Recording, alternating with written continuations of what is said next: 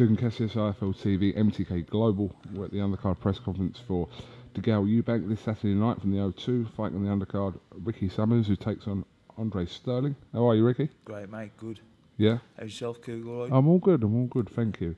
Uh, yeah, um, how do you kind of see this fight with Andre Sterling? How do you rate him? How much of him have you seen? I've seen bits of him. He looks good, but I just think it'd be the experience on the night with myself after being there and boxing on these big shows and, and stuff. I just think I'll I'll be a bit too much for him, and I can see uh, me breaking him up and stopping him late on.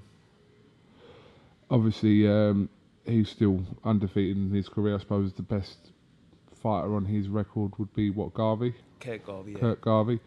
So yeah, uh, relatively kind of untested. Yeah, he is, and I think, you know, looking into his record, he struggled with um, journeyman Adam Jones, who was a middleweight.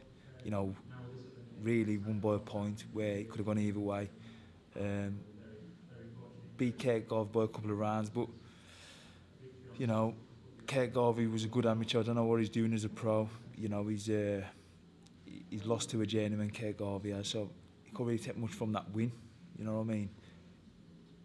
What's kind of the goal for you this year? Obviously, this is an eliminator for the British title, um, which is being contested next month between Yeah. Boatsy and Conroy. Is that kind of That's what I want. you want? Yeah. That's my that, that's my goal. Um, you know, I come up short last time in a close fight where nobody knew of me um, with with Frank. But I just think what lost me that fight was the experience and stuff. I feel I'm a better fighter now, and I want to be pushing back up for that British. You were obviously at one point being linked with a fight with Anthony Yarde. Has, has that ever been revisited since then? yeah, there's been a few offers. We got offered the fight um, like the same day as this, and I can't.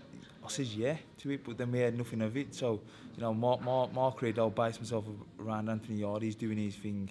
You know, I've got to do what's right for me, and my goal is to fight for that British and win that British. So that's the route we're going down.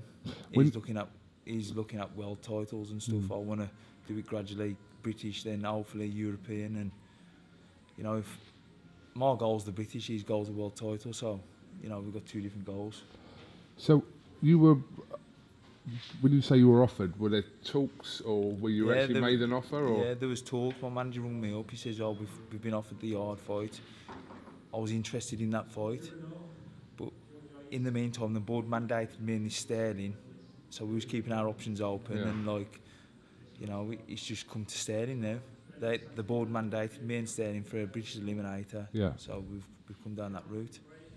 Okay. Well, like I said, you've got a, a job to do this weekend Yeah. before you can kind of think of anything past then. So Yeah, my, my mind's fully on Andre um, on Saturday, so got to get past him first, and then hopefully move on to the the, the big boys. what's your pick for DeGale and Eubank? You know what, King Swain. First of all, us is DeGale, then Eubanks. It's it's an odd one. I don't normally sit on the fence. If if DeGale's got a little bit left, I think DeGale and Nicky on points. Not long to find out. Not long, mate. That's that's one fight I'll be looking forward to after my fight. You know, I can sit back and uh, watch that and enjoy it. Uh, Mr. Summers, thank you very much for talking to IFL TV, and we'll definitely catch up with you again this week at some point. So Yeah. best of luck on Saturday. Cheers, Coog. All Nice right, one, mate. top man.